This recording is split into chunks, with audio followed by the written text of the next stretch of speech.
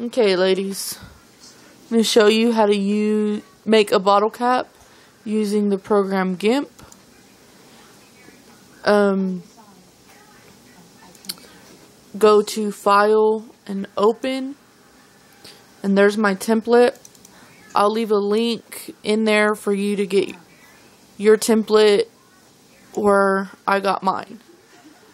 Um, go to File, Open. I've already saved a few images that I want to use to show you. Go to Open. Go to this little circle right here. Click on that. And make your circle. Try not to go outside of the dotted lines of the top of your image because if you do then your image will be cut off on the top.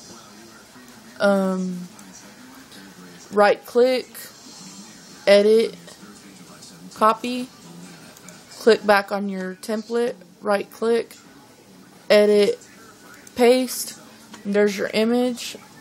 Come over here to this screen and it says floating selection. Right click on that, go down to scale, and then this box will pop up. Unclick on these two chains right here. If you don't click on them, then your width and your height won't let you put the numbers that you need to in there. Um, 169 in both. I do 169, you can do 167.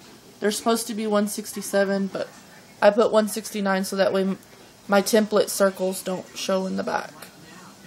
Just get your image and put it over your template circles. To lock your image in place, you're going to press Control Shift in. And right over here it'll say pasted layer.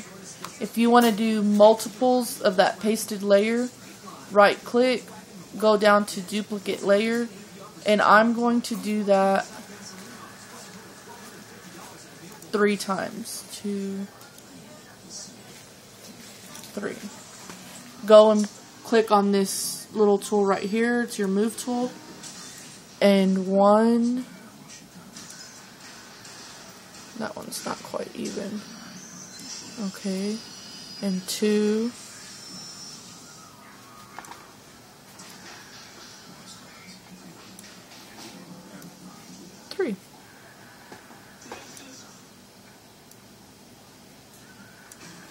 And then you want to press your shift or control shift in all at the same time. It'll ask you if you want to lock those in place as a layer. Yes. Okay. If you have another image that you want to put in there, um, just go to file and open again. Um, pick out whichever image you want and pretty much do the same thing um, until edit copy edit paste scale your layers. 69.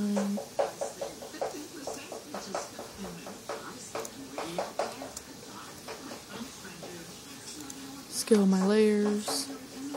Come over here. Sorry. Control Shift in. And if you want to duplicate it, just duplicate those through there. Um, exit this one out in the back. File. Woo. Export as.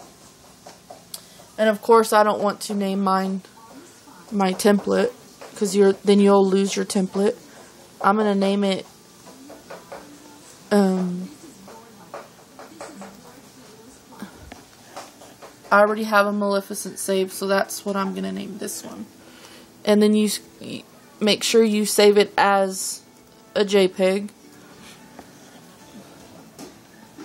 You can either type in JPEG here or you can come down here and find your JPEG right there. And you can click on that too and it still goes, saves it as a JPEG. Um, and I'll just put, go to export. And this right here needs to be at 100%. Go to export. Exit that out. And to find it, you just wherever you saved it, you go and find it there. Oops, that's not what I wanted. Right there. Mine is under my templates. Oh, goodness.